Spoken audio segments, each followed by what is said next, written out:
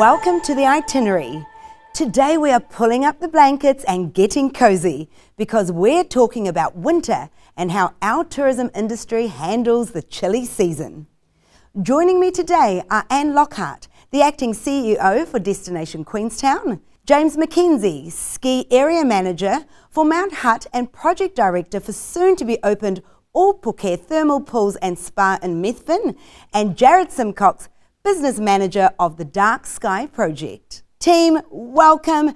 Tell us, please, what sets winter tourism apart from summer tourism? Look, for our business, we look forward to winter because uh, for observing, for looking up at the night sky, um, it gets dark earlier. We can go out at half past six, be home in time for tea before it gets too cold. Um, and of course, the diversity of activities down here in Lake Takapo um, really starts to change. So we can have people who are going up and enjoying the ski fields nearby, and they might go to the hot pools in the afternoon, and then they come down and go uh, observe and go to our astronomy centres here in Lake Takapo in the evening. And you can do all of that uh, before it gets too cold and miserable. And that's what we really look forward to about winter time. For us here in Queenstown, we've obviously got the um, wonderful advantage of having four ski fields in our proximity in our area, two in Queenstown directly and two more over the hill in the Wanaka area. Um, we've got yeah a huge number of experiences both on mountain and off mountain. Um, I like as um, Jared was just talking. Um, we've got hot pools to in the evenings, 150 restaurants that you can go to, and a myriad of other off mountain activities as well. So yeah, it's a true winter a true winter resort. It's a little different uh, up here in Methven. We don't have 150 restaurants.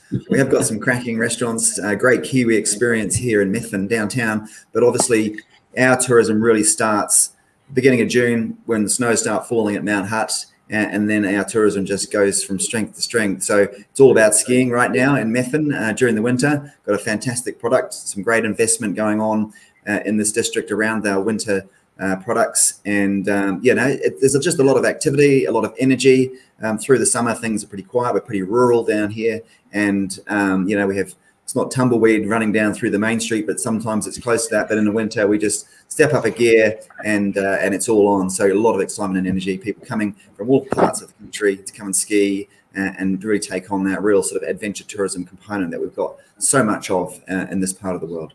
Oh, fantastic team.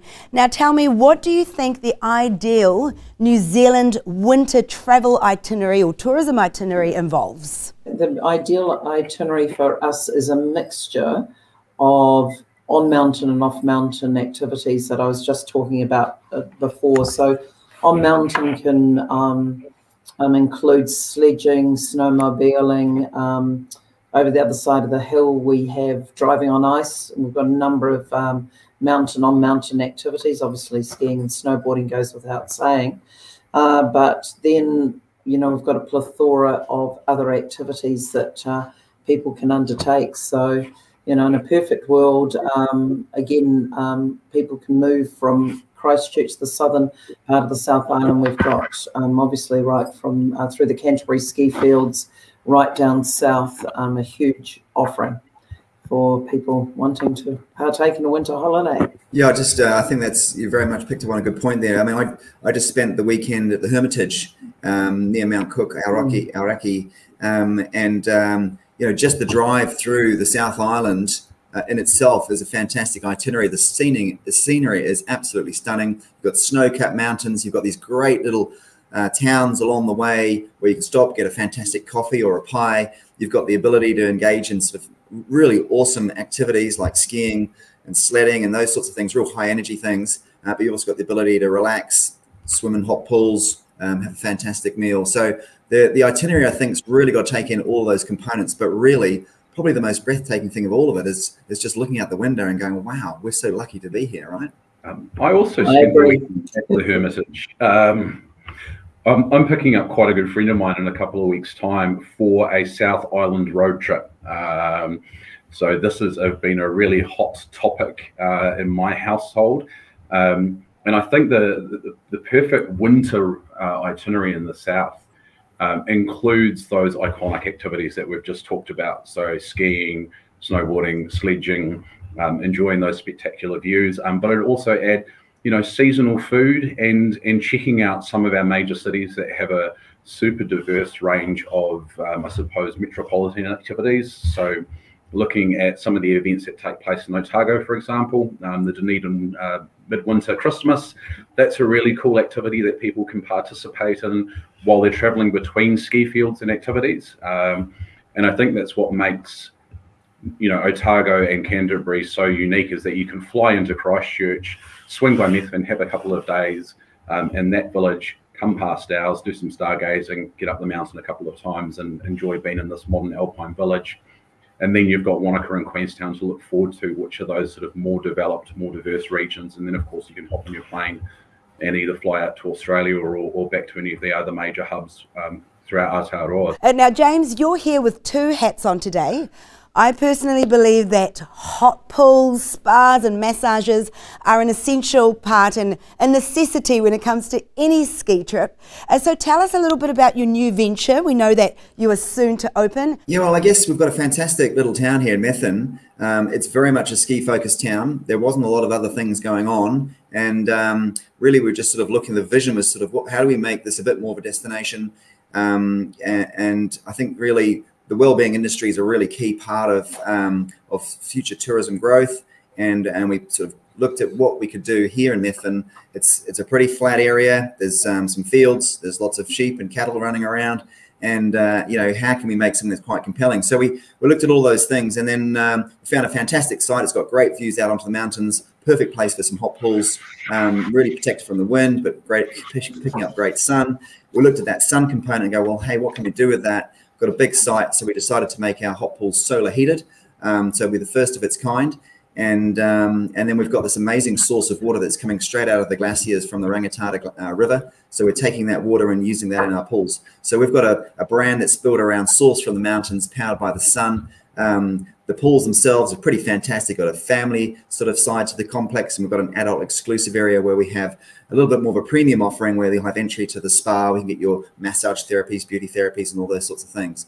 So really quality, high quality uh, hot pools uh, product um, with um, great service, great food, all those other things you'd expect from a from a from a real sort of um, you know, uh, I guess um, established uh, tourism destination. So we're working pretty hard. We're about 10 weeks away from getting that up and running.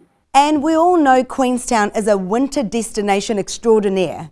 Now, how reliant is the town on our winter activities? Well, we're very reliant on our winter activities, although it'd be fair to say that pre up until um, uh, pre well, pre COVID, is summer was our strongest uh, period, uh, where we had most visitation. However, we were very pleased to find last year that after we came out of lockdown that we had a strong winter season, albeit that it was a domestic only season.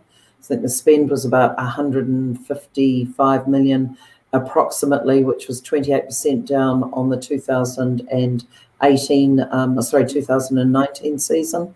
So that was about a 28% decline. So um, without an international, without international visitors, who are mainly Australians during the winter, um, we thought that we did um, pretty well. Now, another thing that we all associate winter with are those long, dark nights. And Jared, I imagine that winter is really when things kick into gear for the Dark Sky project. Uh, what can you tell us about this initiative? Who are your customer base, and how is it uh, different between the seasons? The appeal for winter um, from a stargazing perspective is, is twofold. Um, the first is that we're able to get up the mountain or out to one of our observatories a little bit earlier. Um, so in the summer, last light doesn't really happen until half past 10, 11 o'clock at night. So you've got to be pretty committed to going stargazing. Um, whereas in the winter, we get away at about quarter past six. So it's considerably more accessible.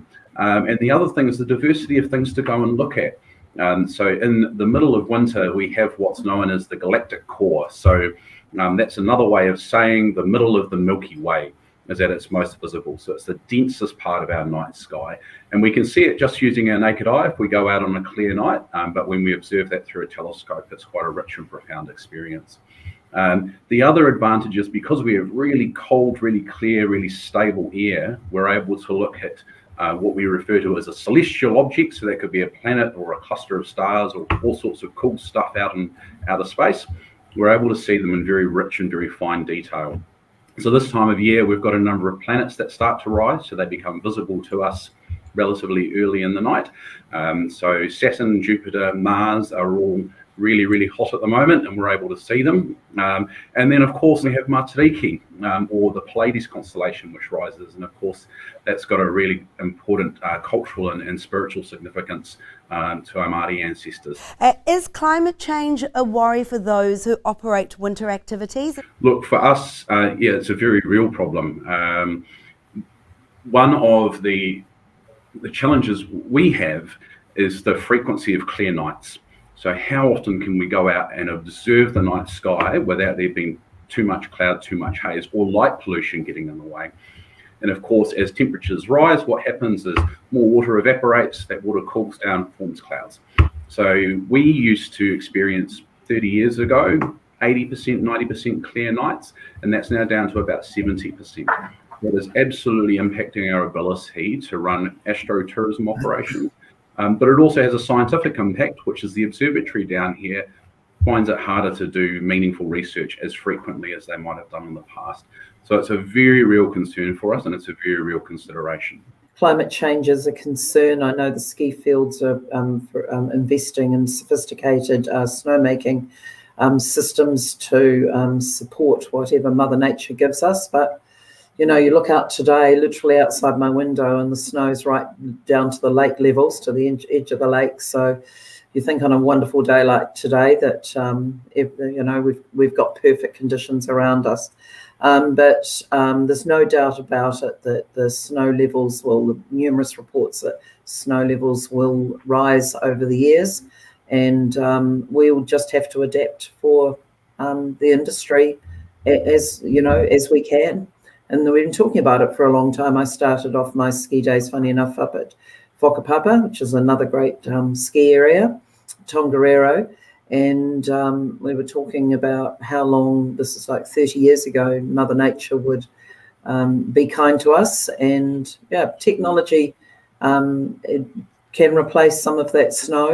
And um, I, I feel confident that you know that by the you know over the next 20 or 30 years further advancements will will, will be made yeah well um, you know you're right the, the, the major ski fields do invest in snowmaking te- technology which can sort of get you through provided that the temperatures are low enough of course if it doesn't snow um, mm. I guess the thing about New Zealand, what makes the New Zealand winter experience quite unique, is that we've got a you know a, a reasonably diverse ski proposition. We've got the small club fields, and we've got the larger commercial fields. My concern in the sort of medium, uh, near to medium future is that the um, the club fields will find it increasingly hard to provide a, a, reasonable length of season that can keep them going. So that's a big concern. The commercial fields uh, will continue to invest in snowmaking and and and offset that change that's coming uh, as long as they possibly can. But it is a it is a it is a worry for sure.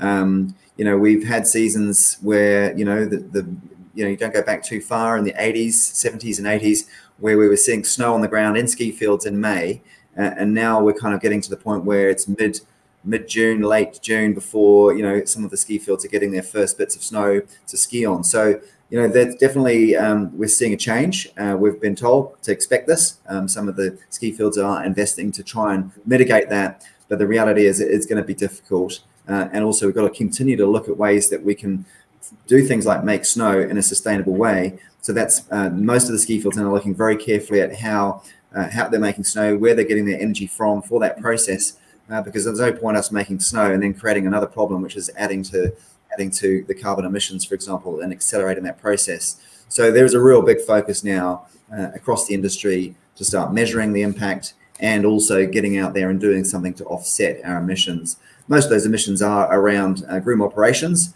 um, and uh, obviously, we're also using power for our lifts and snowmaking. But we've got to look at that power, where it's coming from. We've got to support activities and initiatives locally and across the nation to um, to reduce the emissions that we're producing. So that's really key to us now. Is seasonal staffing an issue for our winter activities? Um, I understand that we um, the, the, the ski fields here pretty much do have their staff. Uh, but however, having said that, it is an issue across the board, um, very difficult. Um, a lot of our people, we are reliant on people on short term or migrant or working visas of some description, and a lot of those people have either gone home or to other parts of New Zealand. So we're very much encouraging them to come back. Um, we're starting a hub here in uh, Queenstown.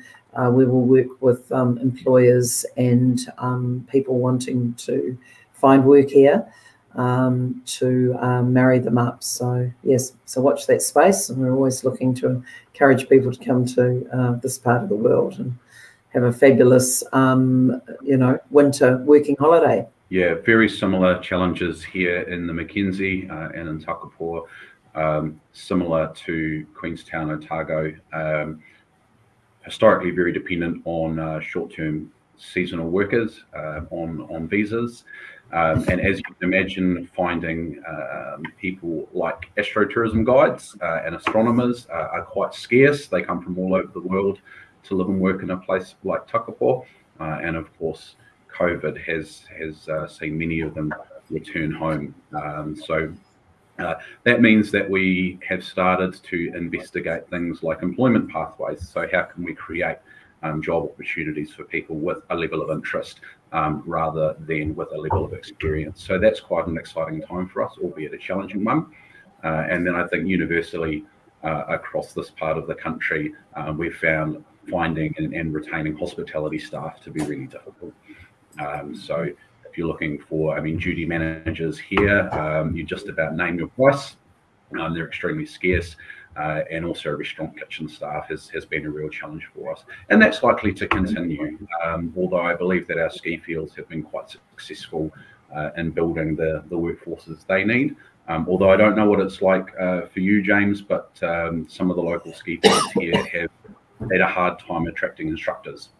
And that's their mm. big challenge at the moment, um, is finding people to teach with the borders closed, um, you know, getting people in to do jobs that historically were done by overseas workers you know, has become a, a, real issue. We've had to rethink how things are happening. You know, here in Methven and Canterbury, we've got a slightly better sort of pool of uh, uh, of, of uh, people that we can reach into, with Christchurch being quite close. Um, but we still have the same challenges, and and the way to face that, of course, is to look at your business and look at what are those opportunities that you're providing people when they come mm. to work with you, uh, and making um, the positions that you have as attractive as possible. So it's not just the job, as, as you mentioned, Jared, it's the pathway, it's what qualifications can someone pick up whilst they're working for you, what are the, the other benefits that come from working with you, whether it's transport or lunches or whatever else it is, um, working out accommodation deals, those sorts of things are really important. We're going to have to continue to work at that. We do, um, you know, surveys mid-season, end of season. We take those apart and look at what our staff are telling us and going, right, what do we do to make ourselves, you know, the employer of choice? And uh, you know, you just have to keep looking at that, keep on thinking about, well, how do we address those things? Because it just gets harder and harder to attract good mm. people to your business. Um, but if you if you keep working at it, you keep looking at the data, you keep on uh, thinking outside the square. I think there are solutions out there. It's just that you can't sit back and expect things to be the same as what they were. How do you think New Zealand ranks as a winter destination uh, when we compare it to other destinations? I think we're pretty spoiled, to be honest. And I know that sounds like a cliche thing to say and like a bit of um, blatant self promotion. Um, but when you think about other destinations globally uh, that have a strong winter proposition, they tend to have a relatively small appeal. Um, so it might be skiing or snowboarding, and that's kind of the shtick. Whereas if you look at New Zealand from north to south, the sheer range of activities you can participate in here through our winter months is, I think, quite unparalleled um, on the global stage, um, perhaps comparable to somewhere like Japan, where we have a huge amount of cultural diversity, um, we have a huge amount of ethnic diversity, we have a huge amount of attractions both in the event space and the activities space. And the further south you go, um, the more appealing um, the winter proposition becomes, I think. So if you're starting in the north, where you might still be warm, comfortable, you've got great big cities, you've got a range of activities um, that you can participate in, pit stop at Ruapehu um, to go for a bit of a ski or a snowboard if they've got some. And then further south, as you get into Canterbury and Otago, the frequency of those winter offerings just starts to improve. Um, and I think that you can really spend a lot of time in a lot of places across Aotearoa doing different things throughout the winter season. Whereas in other parts of the world, you might choose to base yourself in one particular location. You're up the same mountain or the same group of mountains every day for five or six days. Whereas down here in Aotearoa, New Zealand, you can start in the north, finish in the south, and be doing something different every day. And I think that makes us really unique. Um, I also think we're super accessible. See, never more than two or three hours from an airport, so you can get around here, and you can get around here comfortably uh, and uh, and confidently as well. Yeah, I, I absolutely agree. You know that New Zealand's got a huge offering. You know, from you mentioned before, James, about the uh, club fields, um, right to large international um, ski fields such as the ones that we've um, got here in the well, right from um, um, um, Mount Hutt downwards down south. And we've got, you know, so you've got that sort of unique boutique on mountain experience, if you want to call it that, to somewhere like Queenstown, where we've got an off mountain, um, very uh, cosmopolitan, um, you know, offering right across the board in terms of hospitality, restaurants, uh, plethora of other activities to do. So, you know, when you look at some, say, for example, even uh, North American locations, is it's pretty much you're there in the ski season to ski. You know, even in some of the most famous resorts, and the the offering is certainly not as broad as what is what you can get um, in New Zealand. And I think the offering is very different, Ann, as well, because you um, mm.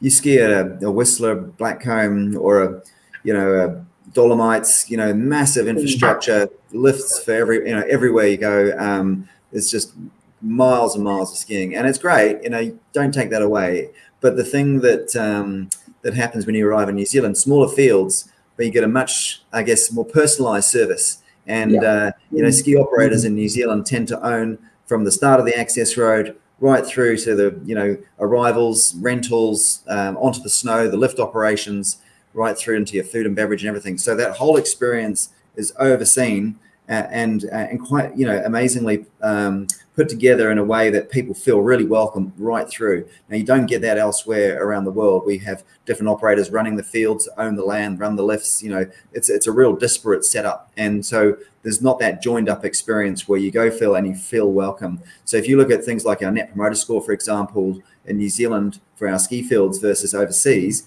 guests are telling us that they're feeling mm. like they're getting a great experience, despite the fact that our fields aren't as extensive it's mm. it's an end to end amazing experience. And then of course, as soon as you get off the hill, everyone's working their socks off down in the towns to make sure those guests stay around because their lives depend on it. So yeah, you know, their livelihoods depend on it. So um, you know, I think with that, um, you know, we are able to offer quite something quite unique on the world stage. Um, and and very different, and that's what will get people here. And I think uh, you know we've got a lot of potential moving forward. Now let's head to the ice cold slopes of Mount Ruapehu for a career pathway story dictated by a passion for the snow.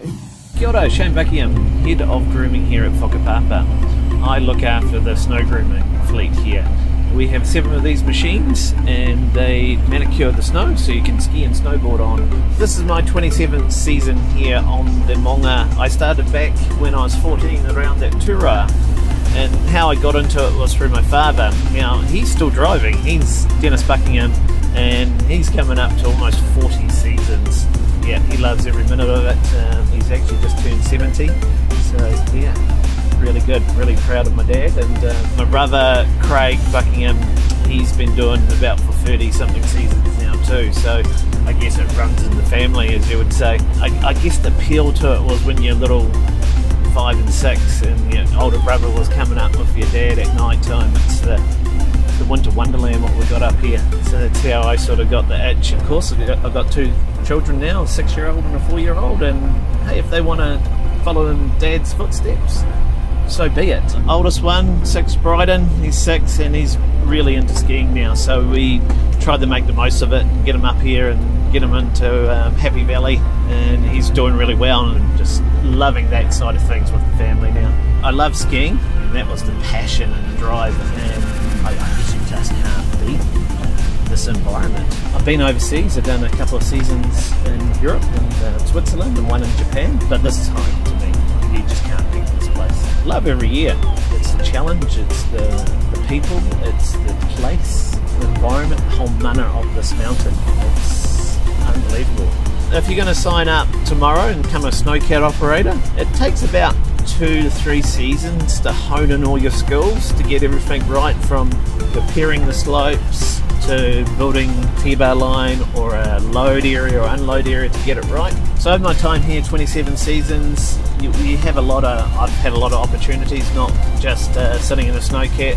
You get uh, to be a duty manager that opens and shuts the ski field and puts out lots of lots of comms to everyone, so everyone's on the same page. Uh, you get to do lots of training with uh, obviously with the machines. You go on courses with PistenBully overseas. So I had the opportunity to go to the factory in Germany to do some training there, and we get to do a lot of from hydraulic training to how to evac yourself off a chairlift with a bit of rope and harness to first aid training to helicopter training. We do we use a lot of the helicopter up here, so you name it, we actually do it. To even driver training in the car on snow and ice. There's definitely avenues to expand your horizons as such. There's not just you're just going to be on a in a snow groomer and that's it. You can do multiple tasks, so you can be a master of lots. if you're going to work in the ski industry, be open minded. You've got a lot of pathways to go down. Yeah, just make friends and enjoy and suck it all in. It never gets old up here. Every season's totally different to the one before, and we're always learning. I'm always learning. You get to meet people, and it is about the people in place.